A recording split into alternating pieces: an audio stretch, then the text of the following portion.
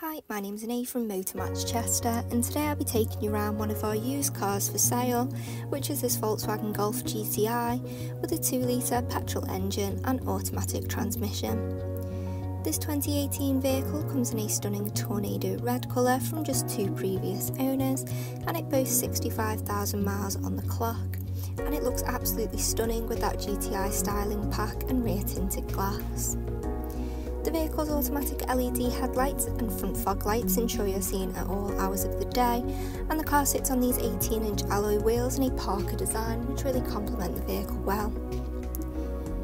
This Golf does come with front and rear parking sensors, making it easy to squeeze into any tighter parking spaces, and it does boast a remote boot release. As you can see, I've used the button here on the boot, but you can use the key fob.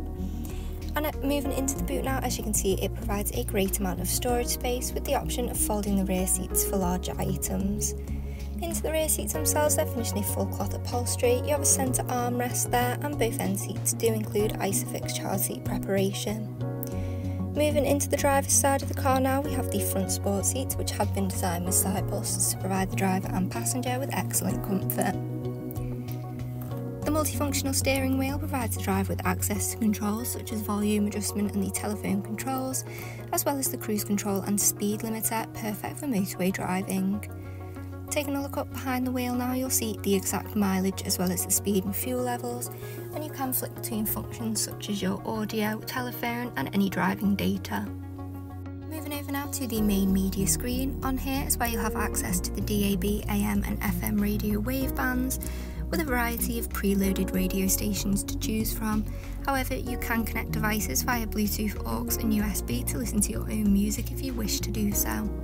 You can use that Bluetooth function to connect your mobile device to make and take phone calls whilst out on the go, and this vehicle does come with satellite navigation, making it easy to reach your chosen destination, where you can plan routes, save any frequently visited addresses, and locate any nearby points of interest.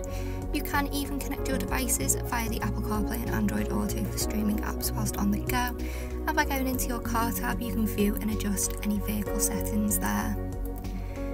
By going into your general settings, you can do the same there with your display settings as well as your general settings such as your date, time and languages.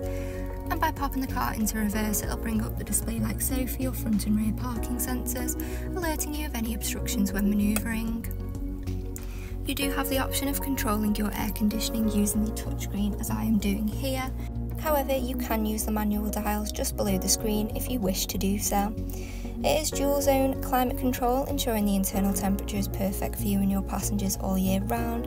And this is also where you'll find your buttons for your heated seats, perfect for those winter months. Moving down just below there is where you'll find your aux port and USB port for connecting devices. And then moving back, you see your leather trimmed gear selector. You do also have an electronic parking brake and two cup holders there, as well as a 12 volt socket and your armrest which opens like so for storage of loose items.